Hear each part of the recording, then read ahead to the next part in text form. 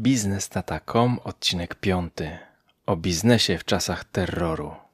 Gościmy dzisiaj pana Andrzeja Blikle, profesora nauk matematycznych, informatyka, przedsiębiorcę, autora wielu publikacji z dziedziny informatyki oraz książki Doktryna Jakości o organizacjach samoorganizujących się, tatę i dziadka. A tematem dzisiejszej rozmowy będzie ojciec pana Andrzeja, pan Jerzy Czesław Blikle. Dzień dobry, panie profesorze. Witam wszystkich słuchaczy i pana redaktora oczywiście. Panie profesorze, pierwszy raz o pańskim ojcu dowiedziałem się, usłyszałem w jednym z wykładów, w sumie w szkole Asbiro, które pan prowadził, gdzie opowiadał pan o historii swojej firmy, cukierni Blikle i o niesamowitych przygodach, które on przechodził. Właściwie od czego powinniśmy zacząć opowieść o, o, o Jerzym Czesławie Blikle? Może od e, założyciela firmy Antoniego Kazimierza Bliklego, który założył firmę w roku 1869, 11 września. Właśnie w tym roku firma skończyła 150 lat. Fryderyk Antoni Kazimierz e, był synem Fryderyka. Mm, Fryderyk przyjechał ze swoim ojcem, ze swoimi rodzicami e, jako szwajcarski rzemieślnik do Polski. E, ale matka Antoniego Kazimierza szybko straciła męża, syn został osierocony i kiedy do, doszedł do wieku, gdzie, kiedy mógł już być oddany do rzemiosła, mama mm, wysłała go do, na praktykę, na naukę rzemiosła, naukę zawodu do cukiernika szwajcarskiego Kacpra Semadeniego, który miał e, swój zakład w Łomży i chyba do dzisiaj jeszcze taki zakład Semadeniego istnieje. Wysłała do szwajcarskiego mm, cukiernika, no bo sama była Szwajcarką. I Antoni Kazimierz po mm, zakończeniu e, nauki zawodu wrócił do Warszawy jako czeladnik, wtedy się mówiło subiekt, no i mm, zatrudnił się e, w cukierni państwa Michalskich na Nowym Świecie, tam gdzie później była nasza placówka flagowa.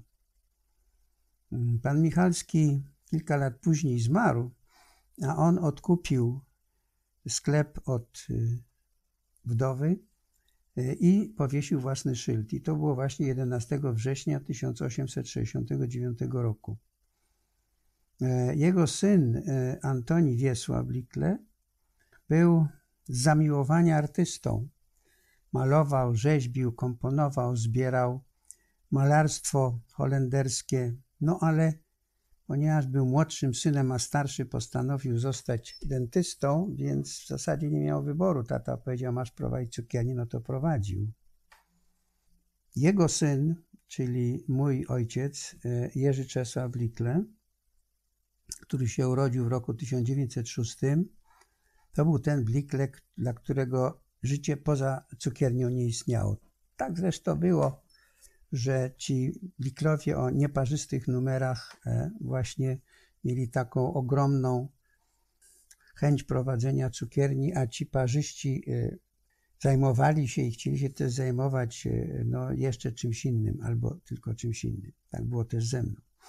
No w każdym razie mój ojciec dorastał w, w, można powiedzieć, w słońcu swojego ojca, bo nie w cieniu, pewnością, ale mm, i podjął e, studia po zakończeniu szkoły, podjął studia w szkole głównej handlowej w Warszawie, e, ale jego ojciec rozchorował się bardzo poważnie, miał udar mózgu i mój tata po e, zrobieniu tak zwanego absolutorium czyli zdaniu wszystkich egzaminów przed dyplomem, na dyplom już sobie nie mógł pozwolić, ponieważ musiał się zajmować firmą.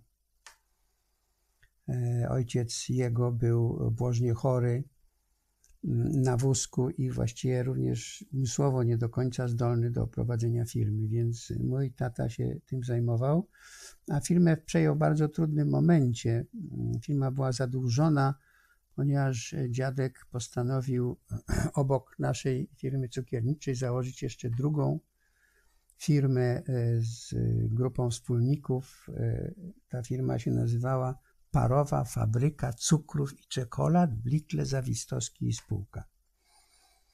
No ale tam, tamten interes się nie udał. Mm, wspólnicy, część wspólników, nie Zawistowski, ale inni wspólnicy wyjechali za granicę z pieniędzmi, a dziadek został z długami. Więc kiedy ojciec objął firmę, przez pierwsze lata spłacał te długi, a jeszcze tak jak mi opadał, przychodzili do niego ludzie i mówili, że pożyczyli panu Bliklemu pieniądze, czyli dziadkowi. No a na pytanie, czy mają jakieś pokwitowanie, mówili, no dla nas słowo pana Bliklego było ważniejsze niż pokwitowanie, więc oczywiście nie mamy. No ojciec nie wiedział, czy rzeczywiście pożyczyli, czy nie, ale oddawał. To był bardzo trudny okres dla niego, no ale potem na kilka lat przed wojną te długi zostały spłacone i firma się zaczęła e, rozwijać. Wtedy poznał moją mamę w klubie wioślarskim, bo oboje byli wioślarzami. Mój ojciec był zawodnikiem w warszawskim towarzystwie wioślarskim, a mama e, była córką inżyniera dróg wodnych i całe swoje, całą swoją młodość spędziła w okolicy różnych rzek, które mój drugi dziadek regulował, więc była z wodą za pan brat. I tam się poznali, pokochali i pobrali. Taki był początek. Mamy informacje o studiach, mamy szczęśliwą miłość, przyjęcie firmy, spłatę zobowiązań i wiemy wszyscy, że w 1939 roku wybucha wojna, a młode małżeństwo spodziewa się syna. Jak to się wszystko odbyło? No, spodziewa się dziecka, bo w tamtych czasach nie robiono takich badań prenatalnych, więc nie, chyba nie było wiadomo, czy będzie syn, czy córka. Spodziewano się dziecka. Mój ojciec już był wtedy po odbyciu, pamiętam, rocznej czy dwuletniej służby wojskowej e, w szkole mm, w podchorążówce e, lekkiej artylerii konnej. Zresztą potem do końca życia jeździł na koniu bardzo dobrze. E, on e, ukończył tą, tą podchorążówkę w stopniu młodszego oficera, ale potem przeszedł e, bardzo ciężko malarię, w związku z czym został zwolniony ze służby wojskowej. Niemniej, kiedy ogłoszono pobór do wojska, to zgłosił się na ochotnika i e, no, zgodnie z, z prośbą e, głównego wodza, który prosił wszystkich właścicieli samochodów, żeby samochody wzięli ze sobą i oddali do, do dyspozycji wojska, on pojechał tam swoim samochodem i walczył na froncie wschodnim. No i w momencie, kiedy Polska skapitulowała, e, wszyscy oficerowie i żołnierze zostali zaproszeni na spotkanie z, z, z, główno, no, z dowódcą tego oddziału, w którym ojciec walczył. No i powiedziano im, że mm, wódz naczelny e, ogłosił rozkaz, którym zwalnia z przysięgi wszystkich żołnierzy i ci, którzy chcą, mogą zdjąć mundur i mm, wracać do domu, ponieważ Rosjanie tu będą prawdopodobnie już następnego dnia. Część e, z kolegów ojca powiedziało, że munduru nie zdejmą. E, no i ci potem znaleźli się w Katyniu i w Ostaszkowie. Właściwie nikt z tej grupy nie przeżył. Ojciec e, ten mundur zdjął, a ponieważ w samochodzie miał cywilne ubranie, więc, więc przebrał się w to ubranie, ubrudził sobie ręce olejem silnikowym i jak przyszli Rosjanie, to powiedział, że jest kierowcą pana oficera, a gdzie pan oficer, nie wie, może gdzieś uciekł. W każdym razie pana oficera nie ma, kluczyków do samochodu też nie ma, wrzucił je do stawu zresztą. No i potem z pewną satysfakcją widział, jak Rosjanie na sznurku ten samochód ciągnęli koniem. No ale on został e, no, praktycznie bez środków do życia i przez dwa tygodnie szedł do Warszawy na piechotę, głównie nocami, głównie przez lasy. I kiedy dotarł do Warszawy, od strony praskiej oczywiście, to przebiegł szybko most Poniatowskiego, który nie był zburzony i zanim dotarł do Nowego Światu, zanim zdążył wkręcić, skręcić nowy świat, spotkał znajomego, który mu powiedział, wie pan, mam dla pana złą wiadomość, pański dom jest zburzony, rodzina cała nie żyje. No, to była nieprawda i prawdę mówiąc, szafowanie taką wiadomością, jak się nie jest pewnym tego, no to bardzo ryzykowny pomysł. W każdym razie ojciec zaczął biec, no i okazało się, że dom stoi, szyby co prawda powylatywały, bo to było w niewiele dni po poddaniu się Warszawy, po kapitulacji. No i zastał mamę e, w naszym mieszkaniu i mnie leżącego w koszu od bielizny, przykrytego poduszką, bo no, z sufitu sypał się tynk co pewien czas. I jak, jak to było dalej? No, mamy oficera, który wraca w przebraniu cywilnym do domu, spotyka syna, który mu się szczęśliwie narodził. I co, co zrobił z firmą? No, jak ta firma działała pod okupacją? Wiadomo, że tam nikt e, po rękach nikogo nie całował w tym czasie. Wie pan, wbrew, wbrew pozorom, e, cała gastronomia w czasie okupacji e, działała bardzo dobrze. Oczywiście trzeba pamiętać o tym, że musiały być wydzielone e, rejony dla Niemców i tego typu mm, opresje. Natomiast gastronomia się rozwijała w tamtym czasie bardziej niż przed wojną, dlatego że bardzo wiele osób straciło pracę i wzięli się za różnego rodzaju pokątne działalności, w tym czarny handel walutą, różnymi rzeczami, ponieważ z kolei duża część ludzi sprzedawała swoje e, jakieś wyposażenie, mieszkań, meble, domy również, więc pojawili się pośrednicy, a ponieważ nikt nie miał biura, więc te wszystkie transakcje załatwiało się właśnie w restauracjach i kawiarniach. No, cały czas były pełne, a ponieważ co pewien czas dochodziło do jakiegoś szczęśliwego podpisania umowy, no to trzeba było to jakoś oblać i obieść i, i, w związku z tym te kawiarnie i restauracje, bo myśmy mieli taką właściwie kawiarnię, ale z małymi daniami barowymi, funkcjonowały bardzo dobrze. Ojciec postanowił w tym czasie, że te pieniądze, które zarabiał, żeby jakoś je obrócić na stworzenie miejsc pracy dla tych, którzy na tą pracę w swoim zawodzie nie mieli szans. To byli przede wszystkim e, aktorzy i, i dziennikarze.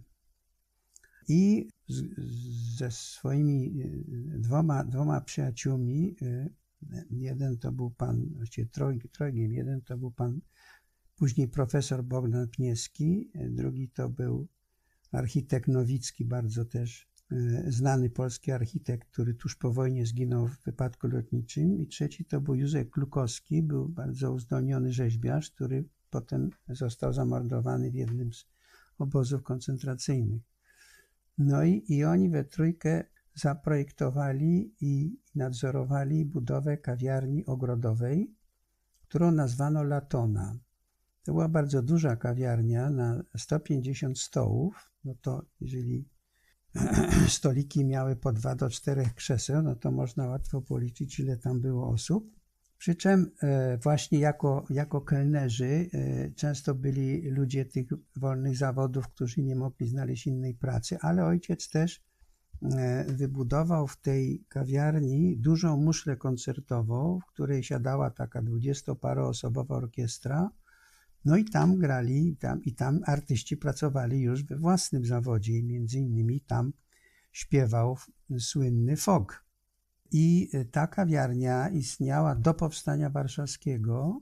W powstaniu warszawskim e, nasza kamienica, w której e, była cukiernia, a później po wojnie sklep cukierniczy, ta kamienica została bardzo zniszczona, pozostały tylko zewnętrzne ściany, wszystkie stropy dach, e, wszystko było zawalone, aż do stropu piwnicy. Strop piwnicy był bardzo mocny i on się, i on się ostał, ale kawiarnia nie została zniszczona. Oczywiście tam były drobne zniszczenia w związku z odłam, odłamkami, tam się jakieś też walki toczyły, ale kawiarnia zniszczona nie była. Natomiast została rozebrana potem przez władze PRL-u e, tuż po wojnie, które wybudowały tam czynszówkę na tym miejscu. Mamy jakieś tam funkcjonowanie firmy pod e, okupacją niemiecką. No i nagle wybucha powstanie warszawskie. Jak ta rodzina, mając na głowie no, syna kilkuletniego, odpowiedzialność za biznes sobie poradziła? Jak oni to zrobili? No, to się zdarzyło w ten sposób, że rodzice, mając kontakty z podziemiem, wiedzieli, że będzie powstanie, ale oczywiście nie wiedzieli kiedy. Niemniej przyjaciele z podziemia powiedzieli ojcu, wywieź swoją rodzinę pod Warszawę, bo tutaj będą walki. I ojciec na lato, no bo to było lato, przeniósł całą rodzinę do Gołąbek pod Warszawą. Zresztą do takiego domu, w którym mieszkał również pan Grabski, minister skarbu z okresu międzywojennego. A sam codziennie ojciec dojeżdżał na rowerze do Warszawy, do firmy. E, I tak się złożyło, że kiedy no, w dniu wybuchu powstania jechał jakoś później do tej Warszawy, e, Niemcy go na rogatkach zatrzymali, go nie wpuścili. E, I dzięki temu no, zostaliśmy nierozłączeni. Niemniej rodzice nie mieli właściwie żadnych środków do życia, bo wszyscy uważali, że no, powstanie potrwa kilka dni. Tak się na to się przecież zanosiło i, i wiele osób na to i, i, i, sami powstańcy na to liczyli. Nikt się nie spodziewał, że armia radziecka się wstrzyma, więc rodzice jakieś kosztowności, które mieli, zanieśli do banku, do skrytki, no bo to przecież najpewniejsze. E, resztę e, zakopali w firmie pod węglem, mm, no i zostaliśmy właściwie z niczym. E, żeby jakoś przeżyć, ojciec się zatrudnił jako robotnik w piekarni. Tam na miejscu w Gołąbkach. I w tej piekarni jako wynagrodzenie dostawał dwa bochenki chleba dziennie.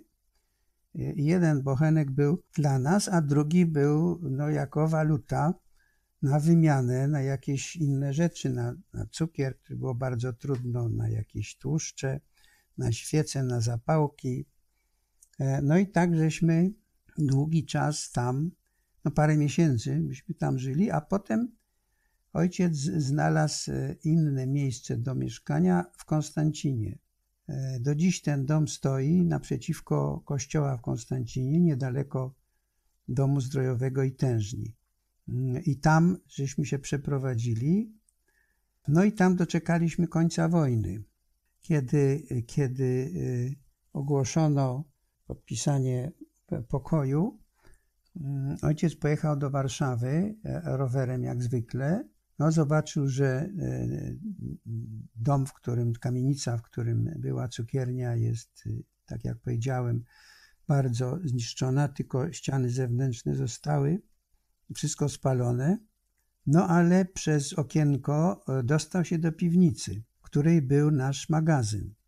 Co prawda, większość tego magazynu E, zostało wykorzystane przez powstańców, bo tam była barykada nawet na, na, Nowym Świecie, bardzo blisko firmy. Mamy takie, takie zdjęcia historyczne tej barykady. No ale zostały dwie beczki marmolady i dwie beczki ciasta piernikowego. I to był nasz pierwszy majątek po wojnie. E, ojciec wrócił do Konstancina, następnego dnia przyjechał furką no i razem z tym furmanem włożyli jakieś, przez okienko włożyli jakieś dwie deski i wytoczyli te beczki z piwnicy i przywieźli do Konstancina. Mama z ciasta piernikowego upiekła pierniki, konfiturę przesmażyła. Pamiętam, jak wlewała do, do takich słoików, które się nazywały weka wtedy, szklany słoik, szklaną pokrywką, ale między słoikiem a pokrywką była taka gumka i sprężynka, na którą się to weko zamykało, żeby było szczelne. No i teraz tata zmajstrował wózek na rowerowych kołach, skrzynia z dyszlem na kołach rowerowych. Naładowaliśmy tam tych pierników i, i tego dżemu.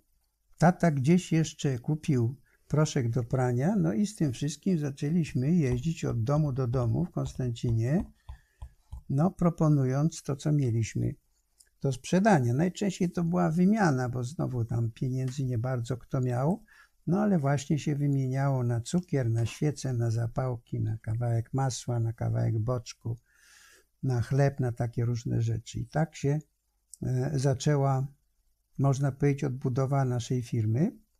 Potem bardzo szybko ojciec dostał kredyt. Wtedy było tak, że te kredyty były stosunkowo łatwo dawane. E, dostał kredyt e, i jednocześnie, a może nawet troszkę wcześniej, zgłosił się do Urzędu Miasta i Urząd Miasta przydzielił mu lokal którym mógłby zacząć prowadzić jakąś niewielką gastronomię. Był to lokal w Alejach Jerozolimskich, niedaleko dzisiejszego hotelu Polonia. Tam zresztą charakterystyczne miejsce, bo w podwórku, w oficynie tego domu, gdzie była ta nasza taka knajpa właściwie, bo to nie kawiarnia, był fotoplastikon. Po jakimś czasie tata zaczął w piecyku kuchennym wypiekać pierwsze ciasta, mm, a po zaopatrzenie jeździł na rowerze na Pragę. Dlatego na Pragę, że tam e, były targi, e, e, no takie chłopskie targi, tam, tam chłopi z, z, ze strony wschodniej, która, nie wiem dlaczego akurat stamtąd, ale stamtąd najwięcej przywozili właśnie takich produktów rolnych, które można było kupić no i tata na rowerze z plecakiem tam jeździł i tam, co tam się dało, to kupował. Mm, robił to również w zimie i ponieważ wtedy na moście stali, stały patrole rosyjskie, radzieckie i, i, i nie pozwalały przechodzić z jednej strony na drugą, więc e, dużo ludzi szło przez Wisłę po lodzie. I mój ojciec też szedł po lodzie, tam też stały patrole, ale nie tak bardzo gęsto. No i miał umyślony, taki miał myślony sposób, że starał się, idąc w kierunku praskim, starał się zajść tego żołnierza od strony praskiej i pytał się go, czy można iść do Warszawy. I on mu wtedy mówił, że nie, nie, można wracać do Pragi. No i ojciec szedł do Pragi. Potem z powrotem w podobny sposób przechodził do strony, na, na, na stronę warszawską. No ale w międzyczasie bank udzielił mu kredytu i E, ojciec zaczął odbudowę tego lokalu e, kawiarni mm, i lokalu e, pracowni produkcyjnej, który zresztą nie był tak bardzo zniszczony, bo to była oficyna po dwórcu tego budynku Nowy Świat 35, w której w XIX wieku były stajnie, ale mój dziadek, czyli Blikle II, te stajnie wynajął i przerobił na pracownię produkcyjną. I pamiętam, ona była bardzo nowoczesna jak na swoje czasy. Pamiętam ją jeszcze z czasów wojny, ponieważ było tam wiele maszyn poruszanych siłą mechaniczną. Więc były mieszarki do, do kremu, były miesiarki, czy jedna miesiarka, tak zwana bajda, do wyrabiania ciasta, ubijaczki do kremów. I to wszystko było poruszane pasami transmisyjnymi, które były napędzane osią zamontowaną pod sufitem, tak na, na, na, narożniku pomiędzy ścianą a sufitem, była oś, na niej były koła. Na tych kołach, z tych, od tych kół szły pasy transmisyjne do kół, które były przy maszynach, a ta cała oś była napędzana jednym silnikiem elektrycznym, no, takim dużym silnikiem. Wtedy te silniki no, na tyle były drogie i duże, że nie można było myśleć za bardzo, żeby je montować na poszczególnych maszynach.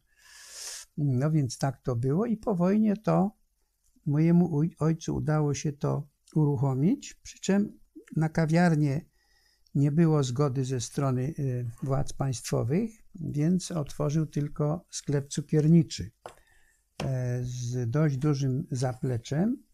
Przy czym to zaplecze to był taki magazyn podręczny, magazyn opakowań, a e, część e, sklepu, a właściwie taki sklep, który sąsiadował z, z naszym, odnajął na parę miesięcy swojemu znajomemu stolarzowi, który przyszedł do niego i powiedział: Słuchaj, no, uruchomiłem warsztat, ale nie mam gdzie sprzedawać. No to może byś mi na trzy miesiące to wynajął. No i ojciec to wynajął na trzy miesiące. No ale ten stolarz został tam e, do lat 90. Potem przestał płacić czynsz, potem były różne bardzo trudne negocjacje, no i wreszcie mnie się udało już córki tego, tego stolarza gdzieś skłonić, żeby się wyprowadziły. No w każdym razie powstała taka dosyć duża, dosyć duży sklep cukierniczy. Mój ojciec odbudował kamienicę do spółki z właścicielem, panem Strumiło. Po połowie mniej więcej każdy z nich włożył wkładu. No ojciec ten wkład miał z, z kredytu. Pan Strumiło był skądinąd bardzo zamożnym człowiekiem, więc miał chyba po prostu jakieś y, zasoby finansowe. No i ojciec miał odmieszkać ten swój wkład i przez 15 lat miał nie płacić czynszu, no ale bardzo szybko doszło do upaństwowienia wszystkiego, to znany wszystkim, wszystkim dekret Bieruta. No i pan Strumiło stracił, przestał być właścicielem, a właścicielem stało się miasto i czynsz był płacony do miasta. No ale to jeszcze nie było najgorsze. Najgorsze było to, że e, Związek Łowiecki, który wtedy miał też w oficynie swoje biura, postanowił wybudować nową siedzibę na miejscu naszej pracowni. Pracownia to był, tak jak mówiłem, parterowy taki budynek, w którym były stajnie. No i postanowił wobec tego naszą firmę stamtąd wysiedlić. Trzeba pamiętać, że w tamtych czasach, a to był przełom lat 40. i 50., członkowie Związku Łowieckiego to byli ludzie, którzy mogli nosić broń, mieli pozwolenie na broń. A kto miał wtedy pozwolenie na broń? No tylko najwyżsi urzędnicy partyjni, ubecja i policja.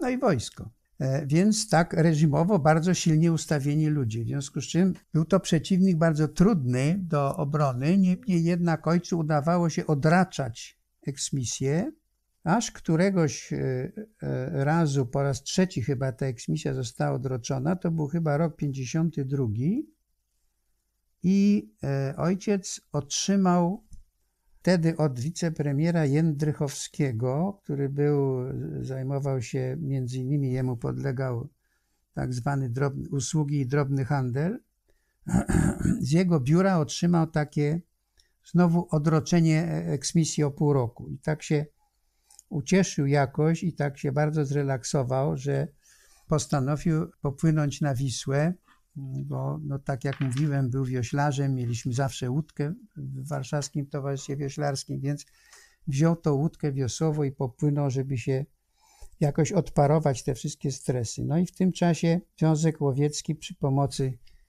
wynajętych robotników, ale też swoich urzędników zrobił taki klasyczny zajazd, najazd, napaść na nas z łomami, z siekierami, rozbili okna, rozbili e, instalację elektryczną, e, rozebrali dach nad piecem. Mama próbowała ingerować, ojca nie było. Jechała taksówką wzdłuż Wisły, żeby zobaczyć, gdzie on jest i żeby on wrócił. Zanim wrócił, to już były bardzo duże zniszczenia, no i władze związku powiedziały, że nic nie wiedziały o tym, że jest y, taka decyzja. Oczywiście musieli dostać informację natychmiast, no ale że w tej chwili już jest stan dokonany, już tego nie można cofnąć. No i rzeczywiście mm, zostaliśmy z tej pracowni wyrzuceni. Mieliśmy otrzymać odszkodowanie, ale tego odszkodowania praktycznie żadnego nie było. Znowu trzeba było zaciągnąć kredyt banku i przenieść 150-metrową e, pracownię na 90 metrów, które było właśnie zapleczem naszej cukierni, tego sklepu. Mm, więc to oczywiście oznaczało wielką ciasnotę i zmniejszenie szans na rozwój.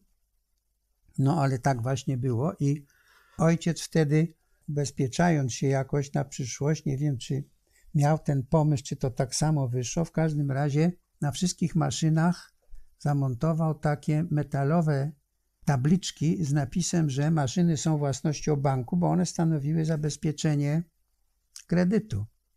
No i potem, kiedy nękały go służby skarbowe e, i mówiły, że zabiorą mu firmę, to on mówił, zabierzcie, tylko ja nie spłacę kredytu. O, popatrzcie, tu na tych wszystkich maszynach jest tabliczka, że to jest własność banku. No i była to też, był to też jakiś jeden z argumentów, żeby tą firmę e, mu ochronić. Mamy odbudowanie i różne przygody, a po Warszawie bardzo luźno lata sobie NKWD, UB i szuka kogo by tu aresztować za cokolwiek. Pamiętajmy, że to są organizacje, które muszą udowodnić, że są potrzebne poprzez terror. Jak pański tato sobie radził z takimi sytuacjami, z tymi wszystkimi nalotami? Przecież była wojna o handel, gdzie no, w sumie zbrodniarze stwierdzili, że zgniszczą całą polską gospodarkę. No tak, ale e, było pewne, była pewna furtka i ona się nazywała rzemiosło. E, I myśmy byli na tyle małą firmą, bo przed wojną ojciec zatrudniał 120 osób, ale po wojnie 40. Myśmy byli na tyle małą firmą, że no, mówiło się, że rzemiosło to tak e, w drodze do socjalizmu to jeszcze dopuszcza się taką formę prywatnej własności, prywatnej działalności. I Polska była w tym całym obozie komunistycznym jedynym krajem, w którym było kilkaset e, zakładów rzemieślniczych. I rzemieślnik to, no, to nie, był, nie było tak dobrze jak robotnik czy rolnik, no ale zawsze to znacznie lepiej niż inteligent, nie mówiąc już o tak zwanym kapitaliście. Więc większe firmy, takie jak Wedel, czy takie jak, jak bracia Jabłkowscy, to oni zostali oczywiście od ręki upaństwowieni, a właściciele często poszli do więzienia. No natomiast myśmy byli na tyle, na tyle małą firmą, że pozwolono nam przetrwać. No a poza tym e, ambasady się u nas zaczęły zaopatrywać, no bo byliśmy taką największą, najbardziej znaną cukiernią, mm, więc też być może władze jakoś nie chciały nas likwidować, no żeby ten, ta dostawa słodyczy była dostępna. I właściwie mój ojciec bardzo, bardzo mm, na tym grał. No i oczywiście e, bardzo uważał, żeby firma się nie rozrosła, żeby nie zacząć sprzedawać za dużo, e, żeby to było wszystko do zniesienia dla ówczesnych władz. Jak udało się przetrwać tą wielką wojnę o handel i Józef Stalin umarł, uwalniając świat od swojej osoby, co było dalej? No, jak wyglądała ta, ta codzienna mrówcza praca aż, aż do lat 80.? Przecież to też nikt nikomu nie pomagał ani. No, oczywiście, że nie pomagał, aczkolwiek tak mniej więcej co 5 lat e, czytało się w prasie, że właśnie rząd ogłosił zielone światło dla rzemiosła. To dosłowne sformułowanie. No i potem myśmy się już śmieli, że skoro co 5 lat zapata się zielone, no to w międzyczasie musiało być czerwone. No i ono rzeczywiście było. Ja muszę powiedzieć, że z punktu widzenia warunków prowadzenia e, firmy e, do lat 60., połowy lat 60., e, te warunki były bardzo trudne. Ojciec był kilkakrotnie aresztowany mm, za takie przestępstwa gospodarcze, jak na przykład kupno 25 jajek w sklepie, który był zresztą obok cukierni, bo mu zabrakło do produkcji, więc poszedł i kupił. No ale to było przestępstwo gospodarcze, dlatego że jajka, były, jajka w sklepie były przeznaczone dla ludności, a kupił je kapitalista po to, żeby na nich spekulować. Spekulacja nie polegała na to, że kupił, na tym, że kupił, że sprzedał te jajka drożej, no tylko, że użył ich do pączków, a te pączki sprzedał potem z zyskiem. No to była już spekulacja, więc e, parę dni przesiedział się w więzieniu. Tak było kilka razy. No i były takie naloty, to kilka razy w roku odbywały to się, myśmy to nazywali naloty, to były kontrole, najczęściej albo inspekcji handlowej, albo inspekcji skarbowej. I te, i te, dlatego myśmy mówili o nalotach, bo urzędnicy wchodzili e, wszystkimi, były dwa wejścia do naszej cukierni wtedy, e, a potem nawet trzy, i oni dzielili się na dwójki, i każdym wejściem wchodziła jedna dwójka. Wypraszano klientów, tam gdzie byli klienci. Jedna dwójka wchodziła do sklepu, druga wchodziła do pracowni, trzecia wchodziła od tyłu do szatni pracowniczej. Plombowali drzwi i nikogo nie wypuszczali. I jednocześnie natychmiast po wejściu e, przecinali sznury telefoniczne. Wtedy nie było jeszcze telefonów podłączanych poprzez, poprzez taki, taki rodzaj takiego kontaktu, tylko po prostu były te telefony na stałe podłączone do sieci, więc te, te sznury y, od razu przecinali i jednocześnie wchodziła kontrola do naszego domu, żeby sprawdzać, czy tam nie ma jakichś spekulacyjnych zapasów cukru i mąki. No i takich kontroli było zwykle kilka w roku. Każda z nich kończyła się protokołem i decyzją o olbrzymim tak zwanym podatku wyrównawczym, czyli domiarze. To się nazywało popularnie domiarem.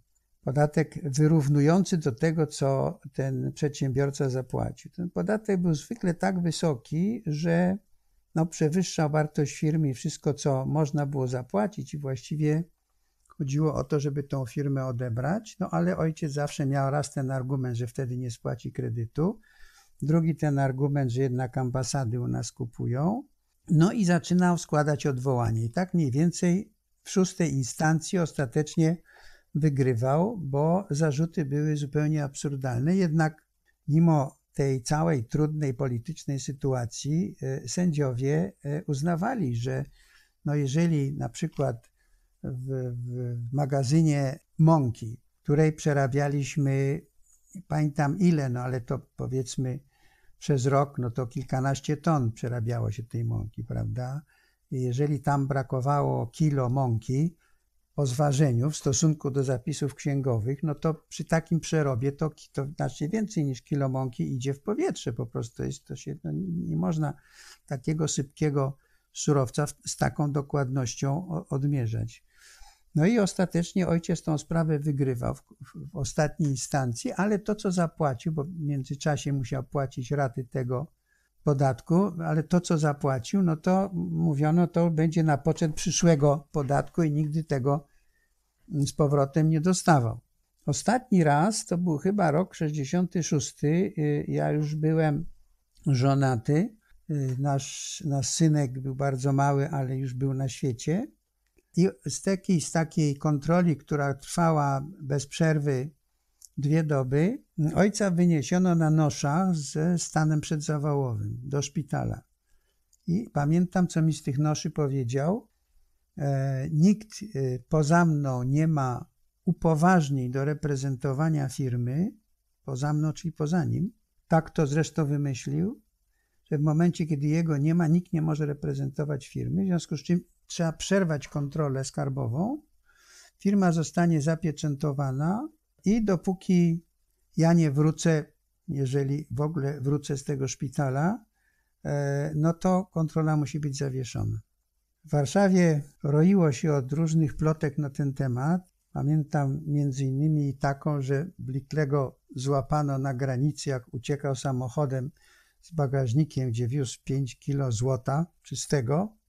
No ale ojciec przeżył szczęśliwie, wrócił z tego szpitala i powiedział sobie zagram w bank. I poszedł do ministra gospodarki i drobnej wytwórczości, czy rzemiosła i drobnej, tak to się chyba nazywało, Ministerstwo Rzemiosła i Drobnej Wytwórczości. Powiedział, panie ministrze, ja już dłużej nie mogę, rezygnuję, oddaję wam klucze, prowadźcie sobie tą moją firmę. Minister był jakiś miarę porządny człowiek. Y, no, mówi to, strasznie mi to przykro słyszeć. No jednak taka stara firma, bo tak władza się zaczęła trochę też chwalić no, czy dziennikarzami zagranicznymi, no, że tu jednak rzemiosło, że nie jest tak źle, że się jednak pozwala na taką drobną inicjatywę prywatną. Więc już wtedy, no to już były, to już były czasy gomułkowskie, wtedy jakoś władzy zależało na tym wizerunku, innym niż za czasów stalinowskich. Więc pan minister mówi, no ale może ja mógłbym jakoś panu pomóc. Co panu jest potrzebne, żeby pan mógł tą firmę prowadzić? Na to ojciec powiedział, a czy ja mogę panu ministrowi powiedzieć szczerze, dlaczego ja już nie mogę prowadzić? Niech pan mówi szczerze, ja gwarantuję panu dyskrecję bo ja już nie jestem dłużej w stanie płacić łapówek pana urzędnikom. No i minister się wcale nie obraził, tylko się zapytał, to co moglibyśmy zrobić? No i, i tata wtedy powiedział, gdybym ja mógł płacić ryczałt podatkowy, wy przyjdziecie raz na rok, ocenicie, ile ja mogę wyprodukować i sprzedać, zaproponujecie, ile uważacie, że powinienem zapłacić podatku, No ja jeżeli uznam, że jestem w stanie na to zarobić, no to podpisujemy na rok umowę, a jak nie, no to bierzecie firmę. I to była, myśmy byli pierwszą firmą, która miała tak, taki właśnie ryczałt podatkowy i potem całe rzemiosło miało ten ryczałt podatkowy. No i z tym ryczałtem podatkowym to już się dało żyć, bo po pierwsze nie trzeba było, nie było obowiązku prowadzenia jakichkolwiek ksiąg handlowych. Więc y, nie było taki, nie było co sprawdzać, nie było co kontrolować. Raz na rok tylko przychodziła komisja, mierzyła, ważyła i oceniała, ile jesteśmy w stanie wyprodukować. W tamtych czasach e, nikt się nie zastanawiał, ile firma jest w stanie sprzedać, bo wiadomo było, że wszystko, co wyprodukuje, to sprzeda. Więc ważne były moce produkcyjne, a rynek był bez dna. No i teraz oceniano te moce produkcyjne według wskaźników państwowych dotyczących dwóch takich miar. Jedna miara to była liczba pracowników, a druga miara to było zużycie gazu w piecu piekarniczym, który wtedy już nie był węglowy, tylko gazowy. No i oni wiedzieli, że pracownie, państwowe pracownie, no to z, z pracownika i tam z kilowatogodziny tego gazu, no to są w stanie tyle i tyle wyprodukować. No dodawali pewno z 50% jeszcze do tego, no i od tego obliczali w jakiś znany sobie sposób, jaki z tego może być zysk. No ale to akurat było łatwiej policzyć, bo z grubsza było wiadomo, jakie były ceny surowców, a jakie były ceny ciastek, to oczywiście one musiały być właściwie zatwierdzane przez rząd. Nie można było samemu ustanawiać tych, tych cen ciastek. No i ojciec się umawiał na ten podatek i płacił go ratami co miesiąc. To się wszystko udawało, dlatego że te nasze wskaźniki były znacznie wyższe niż państwowe. Myśmy byli w stanie z tych, z tych pracowników i z tego gazu, przez to, że była lepsza organizacja pracy, no i nikt nie kradł, no to myśmy byli w stanie dwa razy więcej czy trzy razy więcej wyprodukować niż firmy państwowe.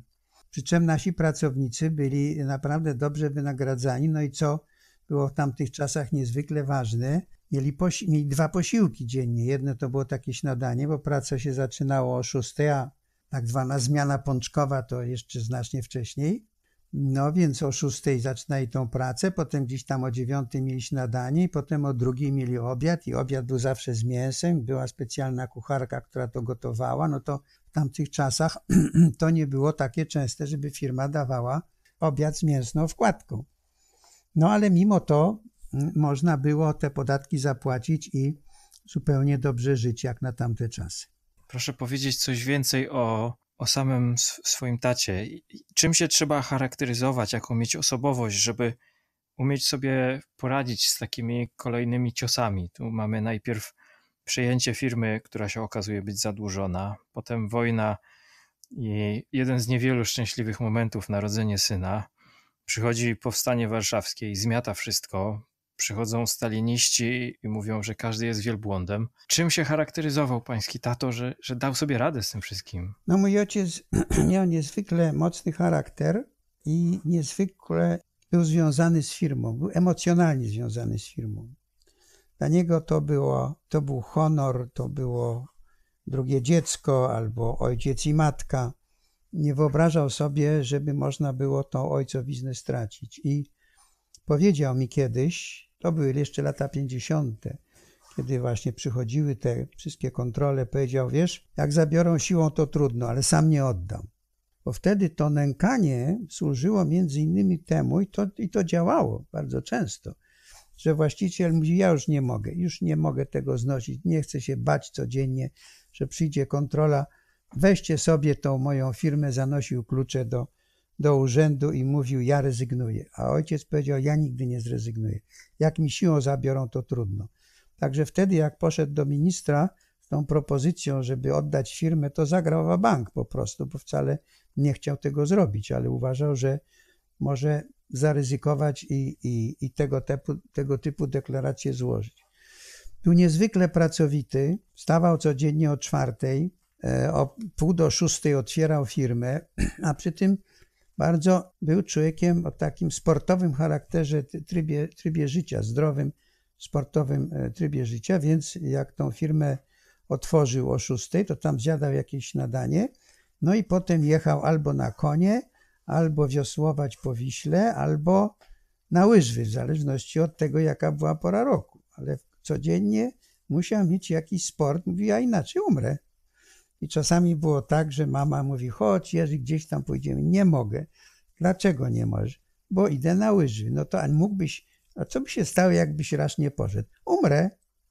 No i rzeczywiście miał rację, miał bardzo, bardzo nerwowy, nerwową pracę, no, strasznie stresującą, e, cały czas pod e, takim oczekiwaniem, że właściwie z dnia na dzień tej firmy może nie być. Ja pamiętam te rozmowy przy stole w domu. No ja też się wychowywałem w takiej atmosferze, że firma jest, a jutro może nie być. Również w tych latach 60., bo przecież również wtedy firmy zabierano u państwa wiano, czy niszczono podatkami. No, ojciec był nie, niezwykle twardy, no i, i, i, bardzo, bardzo był z tą firmą emocjonalnie związany. I myślę, że to są te dwa warunki, które pozwoliły mu przetrwać. No a poza tym czasami robił różne śmieszne sztuczki. Na przykład u swojego krawca był taki krawiec bardzo znany w Warszawie, nazywał się Elert. I poprosił go, żeby mu uszył mundur.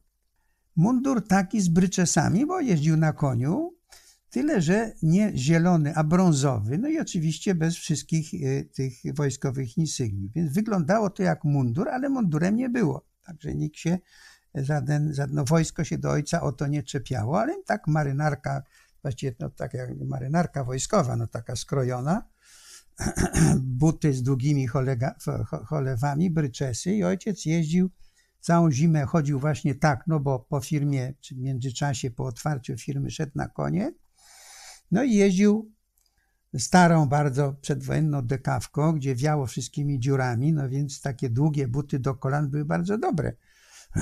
I jak podjeżdżał do jakiejś mm, czasami państwowej hurtowni, na przykład jajek, taka była na, na Chorzej, tam było napisane, że wstęp tylko dla samochodów państwowych. Więc on się zatrzymywał przed łańcuchem, który wisiał w bramie, wychodził dozorca i mówił, że tutaj nie można nie wpuszczać, a ojciec wysiadał z samochodu ze szpicrutą, uderzał się tą szpicrutą po cholewach i mówił, niech pan popatrzy na numer samochodu. Na co ten dozorca, który nie bardzo wiedział, co na tym numerze może znaleźć, ale na wszelki wypadek salutował i wpuszczał.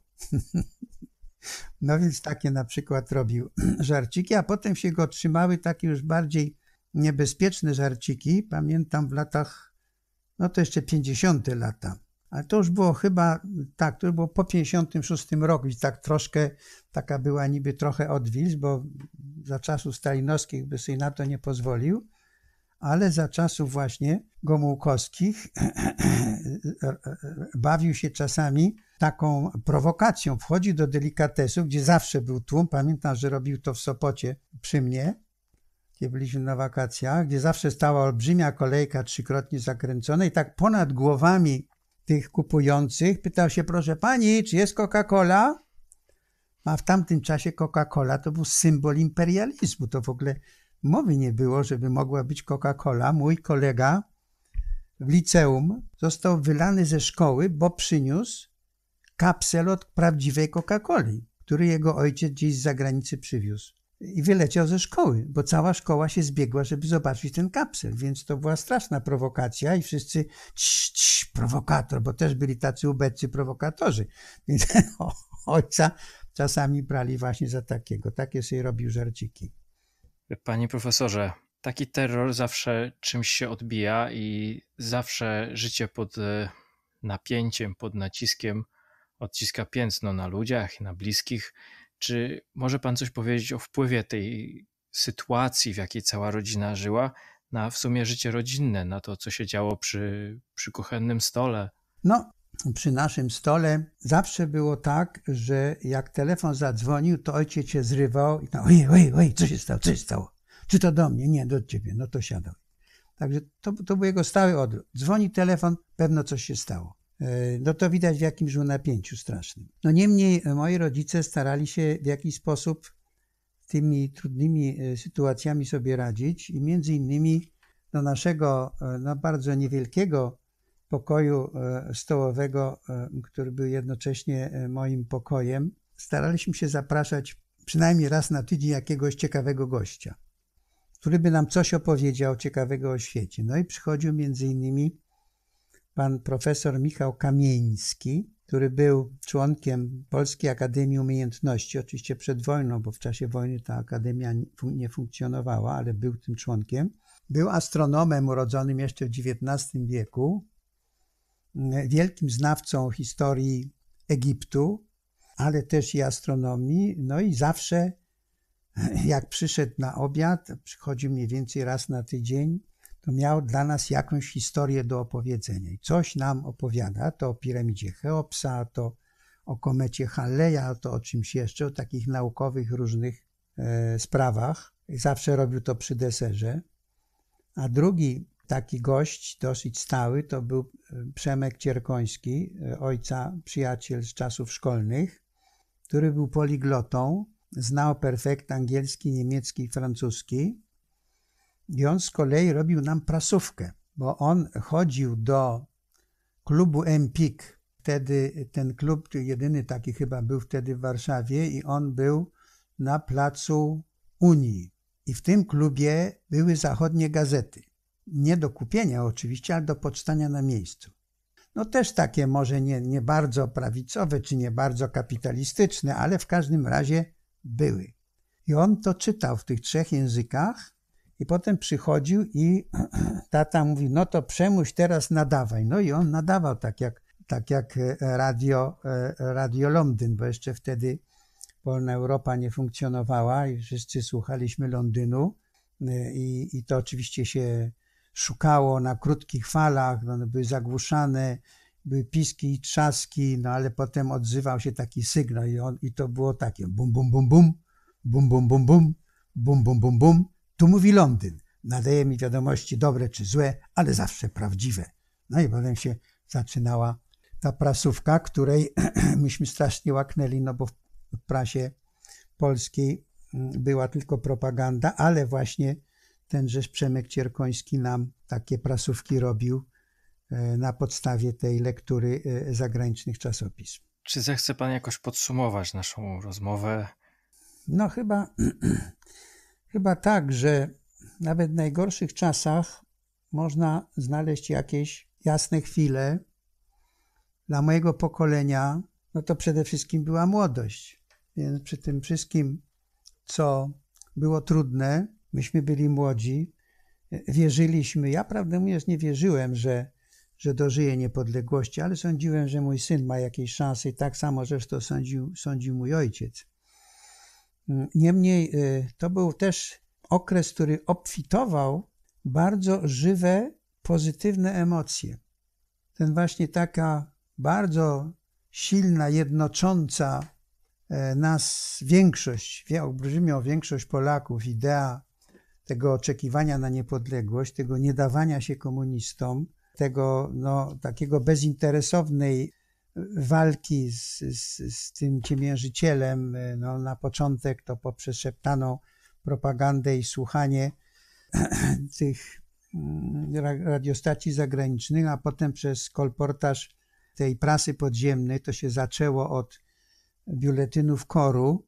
I pamiętam, myśmy z wypiekami na twarzy te czytali, przepisywali na przebitkowym papierze, no ale potem pod koniec lat 80., ja właśnie już opowiadałem moim przyjaciołom z zagranicy, że już tyle jest tej prasy podziemnej, że tego nie sposób przeczytać wszystkiego. To się po prostu coś tam się czyta i, i, i tak człowiek na to traci pół dnia. Więc y, y, no tak chcę powiedzieć, że w każdym takim trudnym okresie można znaleźć jakieś, jakieś blaski wśród tych cieni i że te blaski również i w tamtym trudnym okresie myśmy znajdowali. Dzięki wytrwałości moich rodziców. Dziękuję serdecznie za poświęcony czas.